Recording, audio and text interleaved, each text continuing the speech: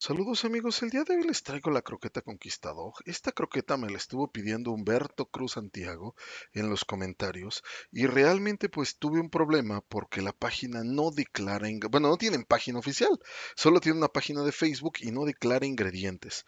Entonces Humberto pues se dio a la buena, a la amable tarea de conseguirme los ingredientes. Como él tenía la croqueta, pues simplemente me los transcribió y me los envió. Muchísimas gracias Humberto y gracias a ti hacer el video del día de hoy.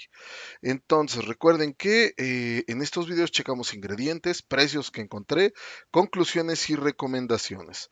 Miren, eh, en cuanto a los ingredientes, pues realmente no hay mucho que decir es puro grano, sinceramente. El primer ingrediente es maíz, el segundo es harina de carne de res, eh, bueno, y hueso. El tercero es pastas oleaginosas, o sea, derivados de conducen al aceite vegetal. El cuarto es fibra de trigo, o sea, salvado de trigo.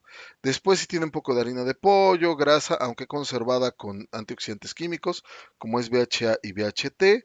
Tiene saborizante, entonces pues, el perrito se la va a comer, pero eso no quiere decir que sea nutritiva. Eh, y tiene este ingrediente que a mí no me gusta, celulosa micronizada. La verdad es que yo no sabía que era la celulosa hasta que empecé a hacer videos de croquetas para el control de peso y encontré que pues literal es una harina de los desechos de cuando hacen sobre todo jugos vegetales vegetales. O sea, imagínense que todas las cascaritas de zanahoria y el gabazo que queda de hacer los jugos verdes o el B8 o yo qué sé, este, lo muelen y te lo venden para que en forma de harina, para que pues eso haga más pesada la croqueta y sobre todo pues le llene al perro más rápido. No me gusta ese ingrediente, sinceramente, porque considero yo que no nutre, dado que es fibra, pues obviamente pasa por el intestino y pues no nutre y más al perrito que es carnívoro, que no, bueno, que está diseñado su sistema eh, digestivo para poder, eh, pues, bueno, para extraer nutrientes de fuentes de origen animal. Lo que sí tiene bueno es un cultivo de levadura y pues de ahí tienen eh, varios, lo que serían minerales y vitaminas de baja absorción. Entonces, pues eso sería todo con los ingredientes. Si se fijan, pues es más, más malo que bueno. Ahora, para no hacer este, el video muy largo, eh, los primeros cuatro ingredientes deberían de ser de origen animal, porque es lo que constituye principalmente la croqueta. Esta solo tiene uno, que es el segundo, o sea que probablemente sea un 30% maíz. Eh, después, que no tenga proteína vegetal, o sea, gluten o pastas oleaginosas, esta sí tiene. Lo malo es que pues el gluten se usa para subir el porcentaje de proteína y las pastas oleaginosas es lo que queda de hacer el aceite vegetal, casi siempre de soya.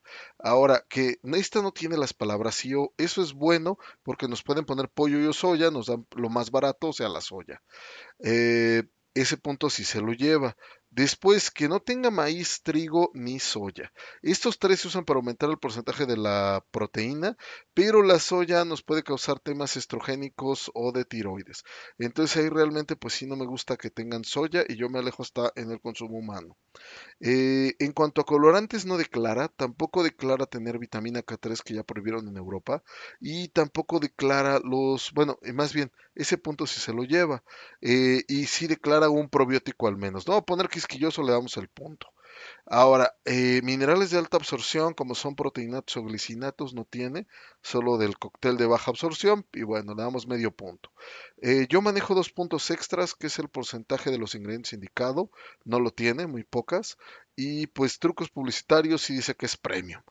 Aparte que en la bolsa ponen vegetales y la verdad pues no trae zanahoria. Pero bueno. Si les gusta el video, activen la campanita para recibir ofertas, denle like, suscríbanse, compartan y pues déjenme su comentario para que el algoritmo nos ah, favorezca un poquito. Ahora, en cuanto a los precios, eh, la verdad es que no sé cuánto cuesta el costal. No, en Facebook te decían que mandaras inbox, nunca encontré un mensaje con el precio. Yo solo encontré una bolsita en esta página que se llama Super la más chiquita. No sé si es así como un mayorista de central de abastos en algún estado. Y pues daban 55 pesos el kilo. La verdad es que, pues digo, este tipo de croquetas suele, por esta calidad, pues entre 30, 40 pesos es lo que suele andar costando, pero por costal. Obviamente, pues individualmente va a ser, eh, bueno, cada kilo por separado suele ser más caro. pero la verdad pues no hay mucho que resaltar de esta croqueta sinceramente. Por eso también pues no me, no me estresé en buscar una, una gran opción de compra.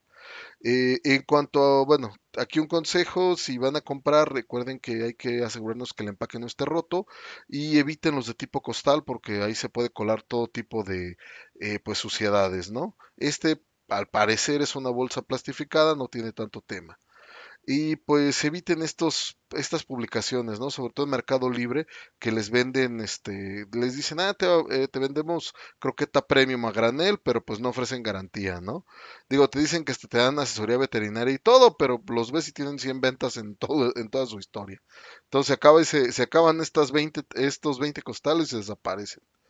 Eh, y pues si piden en línea, recuerden que Mercado Libre y Amazon no aceptan devoluciones, pero si ustedes sí lo pueden rechazar con el repartidor si le notan algo raro. Ahora, en conclusión, la verdad para mí la croqueta, eh, pues está muy de muy baja calidad porque tiene mucho cereal.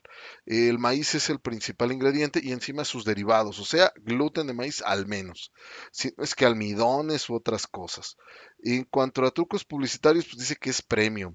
Y lo que les digo, no me gustó nada que no encontré una página oficial, solo tienen Facebook, no publican ingredientes. Eso sí, eh, publicaciones a cada rato, dos, tres por mes, este, con algún jueguito, con alguna dinámica o demás. Pero pues de nada no sirve si realmente la croqueta no está muy buena. Y yo hasta pensaría que sí trae colorantes, porque si fijan aquí trae una croqueta roja y a mí se me ve muy raro, pero en fin. Dice que, bueno, los ingredientes dicen que no trae, pues ah, vamos a decir que no trae, ¿verdad? Para mí la verdad no es recomendable, yo no, yo no la consumiría por el hecho de que pues la verdad tiene muy pocos ingredientes de origen animal entre los primeros y es mucho grano. Por este precio y por el precio, si consideramos que realmente anda sobre de esto de unos 40 50 pesos el kilo, tenemos mucho mejores opciones. Eh, aquí, por ejemplo, en la tablita de comparación que les dejo en el link en la descripción, tenemos Óptimo Selecto, Wow Cachorro o Nucan. Nucan de hecho es una croqueta más o menos pues regular. Eh, si no, o sea, si, si su presupuesto es bajo, es de lo mejorcito que se puede conseguir, aunque también tiene maíz, sí lo sé, pero tiene más ingredientes de origen animal. Entonces, pues, y al menos pues se tiene el respaldo de una marca grande como es Nupec, que pues mínimo ya sabes que le van a meter maíz limpio y no se van a arriesgar a una, a un tema este, pues por ahí reputacional, ¿no? Y pues, si realmente quieren una recomendación de mi parte, yo me iría por Well Hearted. A mí me encantan estas croquetas. Eh, traen carne como primer ingrediente. Taste of the Wild también me gusta, pero se subieron mucho de precio. Está de 1600 el costal de 12 kilos. No baja por el tema del dólar.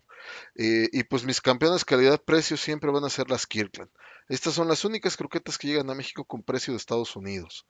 Eh, sobre de 45 más o menos el kilo. Obviamente las Nature's Domain están un poquito más caras, pero las Kirland normales pues están un poquito más baratas.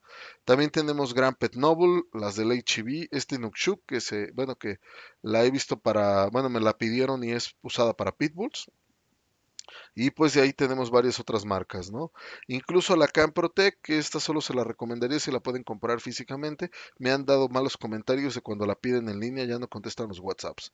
Ahora, si ustedes quieren ver la tabla completa, ya tenemos, de hecho, aquí no le modifiqué, son ya más de 200 marcas analizadas. De hecho, este es el análisis número 202.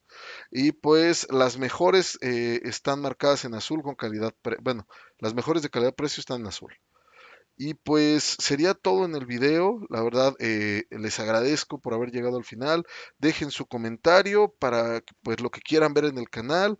Y sobre todo, pues también si algo no les gusta, con toda confianza díganlo para poder seguir mejorando porque este canal existe gracias a su inteligencia colectiva.